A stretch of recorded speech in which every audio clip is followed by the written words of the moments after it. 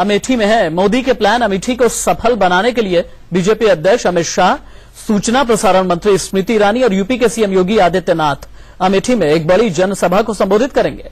स्मृति ईरानी सोमवार को ही अमेठी पहुँच गई। बीजेपी यहाँ कई योजनाओं की आधारशिला रखेगी और ये राहुल गांधी को अमेठी में घेरने की बीजेपी की मुहिम का हिस्सा है और लगातार स्मृति ईरानी ये कहती चली आ रही हैं कि अमेठी में कांग्रेस के शासनकाल के दौरान जब केंद्र में कांग्रेस का शासन था, यूपीए का शासन था, तब अमेठी में किसी तरह का कोई विकास नहीं हुआ। इसके लिए वो अलग अलग उदाहरण देती हैं। वो कहती हैं कि मालविका स्टील इंडस्ट्री को कांग्रेस की सरकार के दौरान बंद किया गया और उसके बाद उसे फिर से खोलने और रोज़गार देने की कोई कोशिश नहीं की गई।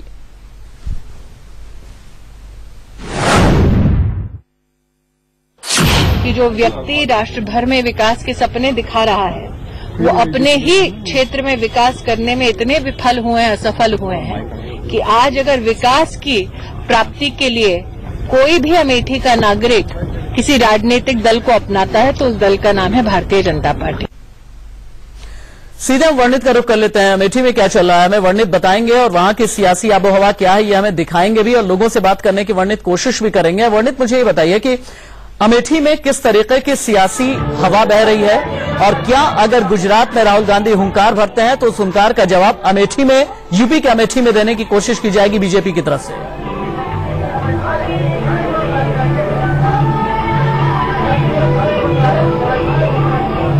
वर्णित आप सुन पा रहे हैं मुझे। माफ़ करिएगा थोड़ा अपना सवाल आप आप एक बार फिर से सवाल दोहराइए आवाज़ यहाँ पे बहुत ज़्यादा तेज है। अमेठी में क्या चल रहा है? रिक्वेस्ट है एक बार फिर से अपना सवाल अमेठी में क्या चल रहा है इस वक्त हम लोग जी मैं इस वक्त अमेठी में गौरीगंज इलाके में मौजूद हूँ जहाँ पे बीजेपी का एक बड़ा कार्यक्रम है।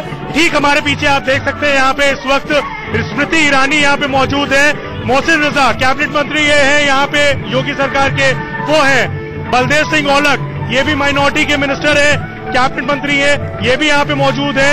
बड़े आला अधिकारी इस वक्त यहाँ पे मौजूद है।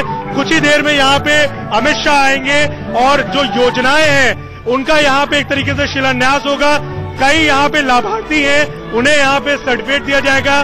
जो स्वच्छता मिशन में जिन्होंने अपना आ, एक तरीके से योगदान दिया है उनको यहाँ पे फेलिस्टेट किया ठीक है बहुत शुक्रिया आपका इस तमाम जानकारी के लिए। राजनीतिक अखाड़े का गढ़ अमेठी 1980 में संजय गांधी के जीतने के बाद उन्नीस सौ अठानवे को छोड़ दें तो लगातार यहाँ पर कांग्रेस का राज रहा है और वहीं पर बिगुल फूका हुआ है बीजेपी ने।